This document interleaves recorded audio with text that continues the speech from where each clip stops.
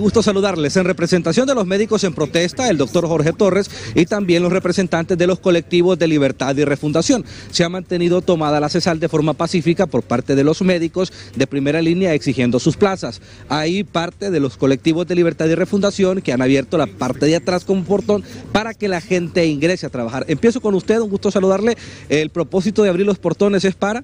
El propósito de abrir los portones es para que el personal de la Secretaría pueda entrar, ya que a nosotros como, como empleados del INSEP se nos debe tres meses de, de sueldo y no se había hecho el pago porque los portones estaban cerrados. Entonces había una molestia por parte de los colectivos de que ellos habían tomado los portones. Ahorita se llevó una, una, una comunicación entre los dos grupos que se iba a abrir la puerta, o sea, y se supone que eso, va a ser ahorita en la mañana para que todos los empleados puedan entrar. Igual, si ellos quieren seguir con su, su huelgas, su protesta, entonces ellos lo pueden hacer, pero siempre y cuando puedan pasar los empleados de, de la Secretaría.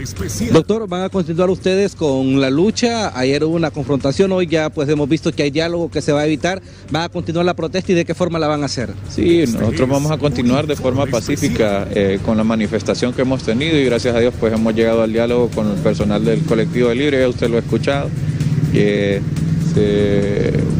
Va a permitir el paso a la, gente necesaria para que les, agilice el pago que se les adeuda.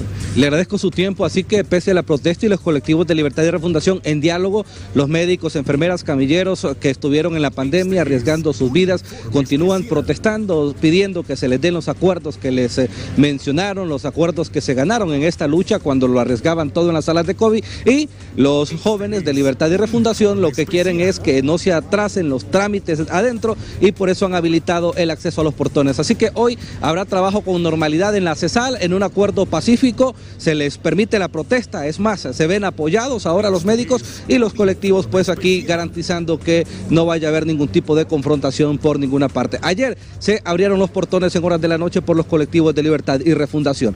Buen día.